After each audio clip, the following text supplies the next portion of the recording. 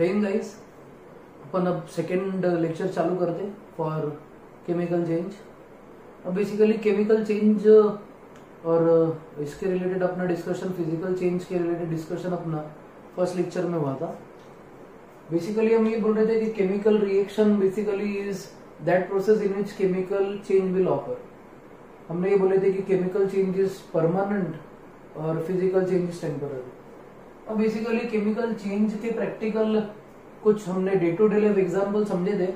अब हम activity related कुछ और कुछ केमिस्ट्री रिलेटेड क्वेश्चन देखेंगे या समझेंगे, जिसके बेसिस पे से आपको और ज़्यादा क्लियर होगा कि what is called as chemical reaction हमने ये बोले थे कि केमिकल चेंज में केमिकल चेंज चेंजेस परमानेंट बोले थे हमने। और हमने ये बोले थे कि जो नया सब्सटेंस फॉर्म होता, नया सब्सटेंस फॉर्म होता, उसकी प्रॉपर्टीज़ पहला जो सब्सटेंस आप यूज़ कर रहे, उसके जैसी नहीं रहेगी, उससे अलग रहेगी। तो basically I give you some examples कुछ एग्जांपल्स आपको बताता हूँ जिसमें we need to consider what is called as chemical change chemical change क्या है, वो हम एक बार केमिकल पॉइंट ऑफ़ व्यू से समझने की कोशिश कर रहे हैं। सपोज़ आपके पास में हाइड्रोजन गैस है, और यू हैव ऑक्सीजन गैस अब ये दोनों गैस को अगर हीट कर रहे तो the product will be water water will be formed अब इसको मैं बैलेंस करके इस तरीके से लिख रहा two times of H two plus O two gives two times of H two liquid ये सब चीज़ें डिटेल में आपको आगे सिखाऊँगा कि बैलेंसिंग क्यों ज़रूरी है क्या क्या चीज़ें होती है what is called chemical equation वगैरह. अब बेसिकली केमिकल चेंज क्या होगा? अपना एक पॉइंट है सर अब हाइड्रोजन में एक अगर देखे it is a gas hydrogen एक गैस है जो इनफ्लेमेबल है. इनफ्लेमेबल मतलब it can catch fire second ये जो है, ये हाइड्रोजन गैस है, ये खुद जलती है. That means it it itself burns burning gas बोल सकते हैं अपन इसको. ऑक्सीजन जो है, एक ऐसी गैस है जो सपोर्ट करती है बर्निंग को. इट सपोर्ट्स बर्निंग ठीक अब अगर सपोज़ मैंने हाइड्रोजन और ऑक्सीजन दोनों को रिएक्ट करवाया तो मेरा प्रोडक्ट जो फॉर्म हो रहा the product which is formed is water product जो फॉर्म होगा वाटर है. और ये जो वाटर फॉर्म होगा ना वाटर एच टू मतलब अपन सीधा इसको बोलेंगे इट इज़ वाटर अब ये is is use as extinguisher इसे हम आग बुझा सकते बेसिकली तो ये अगर देखेंगे if you consider H two sorry H two that is burning gas oxygen is is a gas which supports burning and जो वाटर फॉर्म होता, ये वाटर को हम can be use to extinguish extinguish fire इसको fire को हम extinguish करने के लिए यूज़ कर सकते हैं। तो बेसिकली आप अगर देख रहे होंगे तो ये प्रोडक्ट जो फॉर्म हो रहा है आपका, ये जो एरो के ये साइड पे लिखा गया है, उसको हम प्रोडक्ट बोलते हैं और ये जो सब्सटेंस है, उसको हम रिएक्टेंट बोलेंगे। तो बेसिकली ये हो जाएगा आपका कौन सा चेंज केमिकल चेंज तो केमिकल चेंज अगर सपोज़ कोई होता है, अगर सपोज़ आपके पास कोई एक ऐसा प्रोसेस है that involve chemical change then that is called as chemical reaction what is called as chemical reaction तो आपका एक सबसे सिंपल सा डेफिनेशन केमिकल रिएक्शन का ये रहेगा। Chemical reaction is a process chemical reaction is a process which involves yeah, that involves involves involves chemical change chemical change. अगर suppose कोई प्रोसेस है और उस प्रोसेस में अगर केमिकल चेंज होता है तो उसको हम केमिकल रिएक्शन बोलेंगे। Chemical reaction involves with change chemical change and this chemical change is irreversible basically two times of H two plus O two will give you two times of water मिलेगा आपको water की property in दोनों से completely अलग है। तो इसको हम बोलेंगे केमिकल चेंज और केमिकल चेंज जो प्रोसेस में होता है, उसको हम केमिकल रिएक्शन बोलेंगे। तो what is called as chemical reaction chemical reaction is the process in which chemical change occurs और the chemical reaction is the process which is accompanied by chemical change and और और अगर हमारे को definition बोल रहे तो ऐसा बोल सकते अब एक इंपॉर्टेंट चीज़, आपको रिएक्टेंट का और प्रोडक्ट का डेफिनेशन मालूम रहना चाहिए। तो what is called as reactant reactant का मतलब क्या? What are called as reactants जब भी केमिकल चेंज होगा तो केमिकल चेंज जब भी होता है तो जो सब्सटेंसेस केमिकल चेंज में इनिशियली पार्टिसिपेट करते हैं तो उसको हम क्या बोलेंगे? They are called as reactants reactants are the substances that initially take part in chemical change और केमिकल चेंज होने के बाद जो सब्सटेंस फॉर्म होगा, उसको हम प्रोडक्ट बोलेंगे.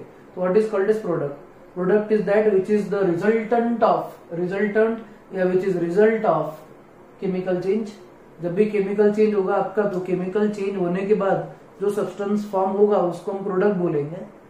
और जिस चीज़ से आपका सब्सटेंस फॉर्म हो रहा उसको हम रिएक्टेंट बोलेंगे। तो what is called is reactant reactant मतलब एक ऐसा ऐसा सब्सटेंस रिएक्टेंट मतलब एक ऐसा सब्सटेंस है।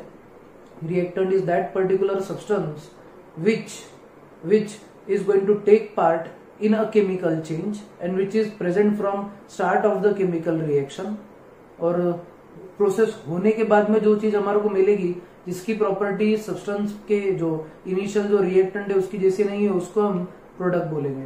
तो in a chemical change there is involvement of there is involvement of reactants and products so basically chemical reaction का एक ऐसा भी डेफिनेशन बोला जा सकता है. Chemical reaction is the process chemical reaction is the process in which reactants are converted into product. Reactants are converted into product. या फिर ऐसा भी बोल सकते हैं chemical change is the process in which chemical bonds are broken and chemical substances are form मतलब initial जो chemical bonds है वो टूटेंगे और नए केमिकल बॉन्ड फॉर्म होंगे। बहुत अलग अलग टाइप के डेफिनेशन है फॉर केमिकल रिएक्शन तो बेसिकली केमिकल रिएक्शन एक ऐसा प्रोसेस है जिसमें केमिकल चेंज होगा। And this chemical change reactants will be converted into product product जो आपका फॉर्म होने वाला है प्रोडक्ट जो आपका फॉर्म होगा, उसकी प्रॉपर्टी पहले जो रिएक्टेंट्स है, उससे काफ़ी अलग रहेंगी। या उनके जैसे बिल्कुल नहीं रहेगी। जैसे कि फॉर एग्जांपल फिर से एक बार hydrogen gas itself burns then oxygen gas supports burning and water is use to extinguish fire ठीक है? तो ये होगा आपको कौन सा चेंज केमिकल चेंज अब आपके एनसीआरटी में पहली जो एक्टिविटी दी है, वो हमको समझना है। We need to understand first activity of we need to understand first activity of NCERT आपको एक एक्टिविटी करके बतानी है, ये एक्टिविटी द्वारा आपको समझना है कि what is called as chemical change तो केमिकल चेंज क्या है वो हम समझने की कोशिश करते हैं। सपोज़ आपके पास में मैग्नीशियम रिबन है। मैग्नीशियम रिबन का मतलब ये कि it is it is the strip of magnesium या मैग्नीशियम वायर है आपके पास। कि मैग्नीशियम वायर को आपको बर्न करना है you need to burn this magnesium wire या मैग्नीशियम रिबन इसको आपको बर्न करना है इन ऑक्सीजन जब आप इसको बर्न करेंगे इन ऑक्सीजन तो क्या चेंज होगा ये आपको फाइंड करना है। अब बेसिकली ये जो प्रोसेस है, ये एक्टिविटी जो करनी कैसी हो आप समझ लो। सबसे पहला पॉइंट मैग्नीशियम जो है मैग्नीशियम एक मेटल है।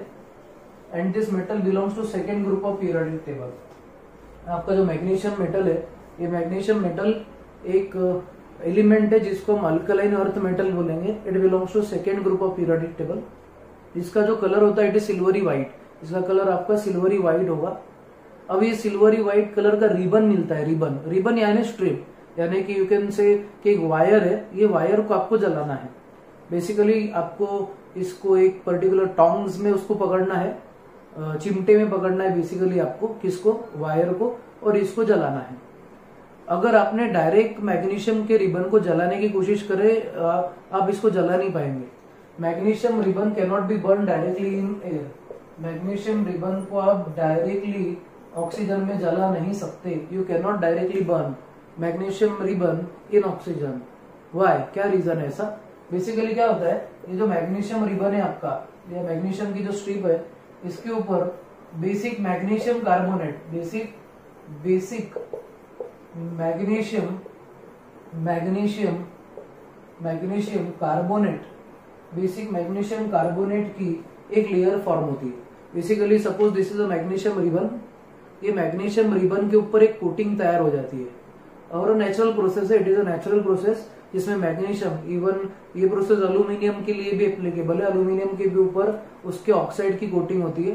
तो बेसिकली अगर सपोज़ आपके पास मैग्नीशियम है, मैग्नीशियम के ऊपर एक कोटिंग तैयार हो जाती है, और ये कोटिंग जो तैयार होती है it is a basic magnesium carbonate अब ये बेसिक मैग्नीशियम कार्बोनेट क्या रहता है? What is called as basic magnesium carbonate it is a substance which is a mixture of और it is made up of MgCO3 magnesium carbonate and magnesium hydroxide MgOH taken twice. So what is basic magnesium carbonate? Basic magnesium carbonate is the substance which is made by which is made by magnesium carbonate plus magnesium hydroxide. तो basic magnesium carbonate क्या है basic magnesium carbonate एक ऐसा substance है basic magnesium carbonate एक ऐसा substance है जिसमें मैग्नीशियम कार्बोनेट एम और एम टेकन ट्वाइस प्रेजेंट होता है। Magnesium hydroxide and magnesium carbonate दोनों का मिक्सचर जो रहता है, उसको हम बेसिक मैग्नीशियम कार्बोनेट बोलते हैं। अब बेसिकली आपको क्या करना पड़ेगा? आपको अगर मैग्नीशियम रिबन को जलाना है if you want to burn magnesium ribbon in presence of oxygen तो डायरेक्टली जला नहीं सकेंगे। This is your magnesium ribbon आपको इसको पहले रब करना पड़ेगा by sand paper you have to first rub you have to first rub this magnesium ribbon with sand paper जैसे आपने इसको सैंड पेपर से रब करे सैंड पेपर से तो क्या होगा? सैंड पेपर से रब करने के बाद में आपकी जो लेयर है, ये लेयर पहले टूट जाएगी। क्या हो जाएगी? लेयर आपकी टूट जाएँगी। जैसे लेयर आपकी टूटेंगी, तब आपका मैग्नीशियम एयर को एक्सपोज होगा और फिर उसके बाद में उसकी रिएक्शन होगी। तो सबसे पहला पॉइंट मैग्नीशियम क्या है? मैग्नीशियम एक मेटल है alkaline metal which belongs to second group of periodic table what is colour of magnesium silvery white हमेशा याद रखो मैग्नीशियम का कलर सिल्वरी व्हाइट होता है। अब अगर आपने सपोज़ चिमटे में मैग्नीशियम के रिबन को पकड़े और उसको जलाए अपने तो डायरेक्टली इसकी रिएक्शन नहीं होगी। गिव रीजन आता है एनसीआरटी में। गिव रीजन ऐसा है? क्वेश्चन ऐसा आएगा आपको why magnesium ribbon has to be rubbed with sand paper तो आपका आंसर रहेगा magnesium ribbon is first coated with is first और it is coated with basic magnesium carbonate and which is mixture of magnesium carbonate and magnesium hydroxide किस किस mixture है? Magnesium carbonate और magnesium hydroxide का। Therefore it first has to be rubbed with sand paper अब इसको आपको इसके लिए सैंड पेपर से रब करना पड़ेगा। आपने उसको सैंड पेपर से रब करे, तब उसके ऊपर की फ़िल्म जो है वो टूट जाएगी। जैसे उसके ऊपर की फ़िल्म टूट जाएगी, तब उसका आप कम्बशन यानी ऑक्सीडेशन या फिर बर्निंग रिएक्शन आप कर सकते। तो बेसिकली अब मैग्नीशियम रिबन की एक्टिविटी क्या है? What will be the chemical change तो केमिकल चेंज क्या होगा? ये what is called chemical reaction तो आपके पास है मैग्नीशियम है। Magnesium is silvery white silvery white है, ये सॉलिड है सब्सटेंस इसको मैं ऑक्सीजन की प्रेजेंस में जला रहा। तो मेरे को जो कंपाउंड मिलेगा that will be magnesium oxide that will be magnesium oxide और ये मैग्नीशियम ऑक्साइड जो है, ये व्हाइट कलर का पाउडर है. ये व्हाइट पाउडर फॉर्म होगा. तो ये पाउडर फॉर्म होगा और ये आपको इसको, ये इस तरीके की डिश लेना है. डिश में आपको ये ये कलेक्ट करना है. तो ये जो रहेगा this will be magnesium oxide और ये मैग्नीशियम ऑक्साइड जो रहेगा, ये कौन सा पाउडर रहेगा? It will be white powder तो ये जो चेंज है, इसको हम केमिकल चेंज बोलेंगे. और ये प्रोसेस को हम केमिकल रिएक्शन बोलेंगे। तो the chemical reaction are those which involve chemical change तो केमिकल चेंज क्या हो रहा है इसमें? बहुत सिंपल सा केमिकल चेंज है। आपका जो मैग्नीशियम रिबन है, इसको हम ऑक्सीजन के साथ हीट कर रहे बर्न कर रहे प्रेजेंस ऑफ़ ऑक्सीजन डायरेक्ट ये जलेगा क्या? नहीं डायरेक्ट नहीं जलेगा। It first has to be rub with sand paper फिर उसके बाद में जब उसके ऊपर की फ़िल्म टूट जाएगी, तब तो आपका मैग्नीशियम जलेगा। मैग्नीशियम जब जलेगा it will form magnesium oxide और ये मैग्नीशियम जो ऑक्साइड होगा, ये रहेगा व्हाइट पाउडर और ये व्हाइट पाउडर को आपको कलेक्ट करना है। तो ये जो चेंज रहेगा, इसको हम कौन सा वाला चेंज बोलेंगे? This is called is chemical change and always remember कोई भी प्रोसेस अगर ऐसा होता है जिसमें केमिकल चेंज होगा then that will be referred as chemical reaction तो again definition of chemical reaction chemical reaction is the process in which chemical change occurs. Chemical reaction is a process in which in which chemical change occurs. And in which the reactants are converted into product and the products of form the reactants are converted into product and products of form have properties different from properties different from reactants तो इसको हम chemical change बोलेंगे ये basic से कुछ example है जिसमें chemical change होगा अब मेन एनसीआरटी का क्रक्स ये चैप्टर में हमको आइडेंटिफाई करना है कि केमिकल चेंज कैसे होता है तो बेसिकली कोई भी अगर कोई प्रोसेस अगर हो रहा है तो देरफोर या कभी भी अगर सपोज़ कोई प्रोसेस होगा तो उसमें कुछ ना कुछ प्रॉपर्टीज़ डेफिनेटली होने वाली है। अब, आपका जो केमिकल चेंज है केमिकल चेंज जब भी होगा it will be associated with particular characteristic और विथ पर्टिकुलर प्रॉपर्टीज़ और विथ पर्टिकुलर प्रॉपर्टीज़ जब भी भी केमिकल रिएक्शन केमिकल चेंज होगा जब भी केमिकल रिएक्शन या केमिकल चेंज होगा तो हमेशा याद रखो केमिकल चेंज होने के बाद केमिकल चेंज होने के बाद आपको कुछ ना कुछ ऐसे क्लू या कुछ ना कुछ हिंट या कुछ ना कुछ चेंज आपको नोटिस नोटिफाई होंगे, या आप उसको पहचान सकेंगे। तो बेसिकली कौन कौन से ऐसे चेंजेस है, जिसके बेसिस पे या कौन सी ऐसी कैरेक्टरिस्टिक्स है, या कौन सी ऐसी प्रॉपर्टीज़ है, जिसके बेसिस पे कोई पर्टिकुलर पर्सन आइडेंटिफाई कर सके कि केमिकल चेंज हो रहा है।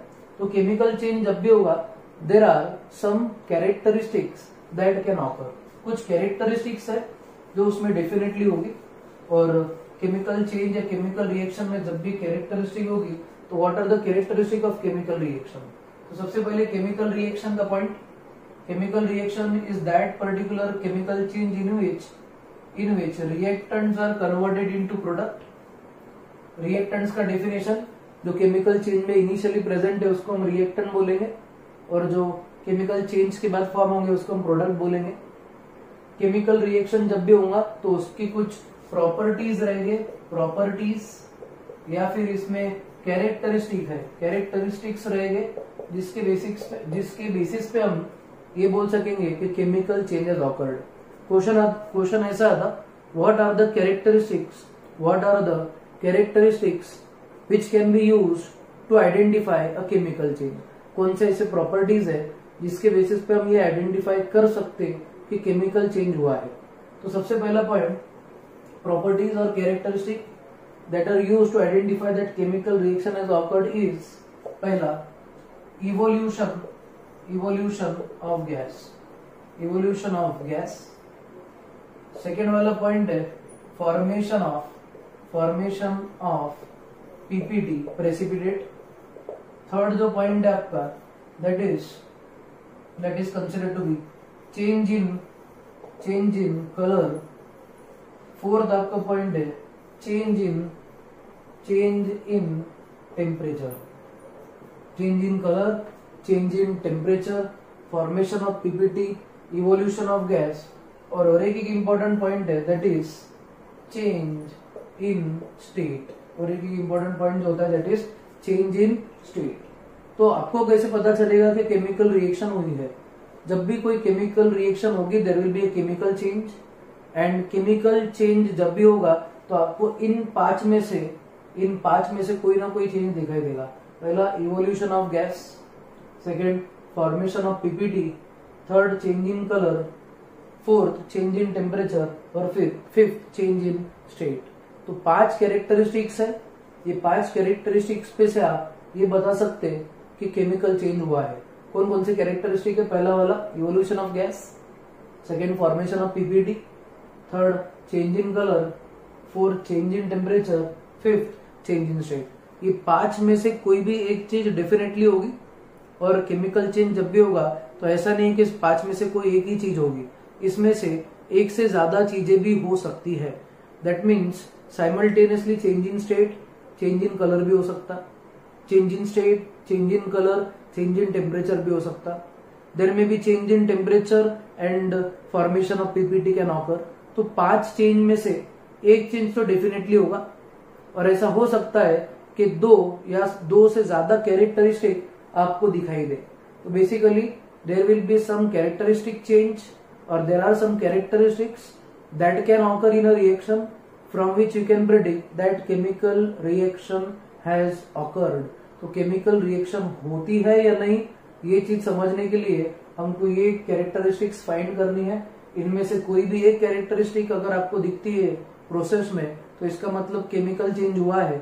और अगर केमिकल चेंज हुआ है तो therefore chemical reaction has occurred ठीक है?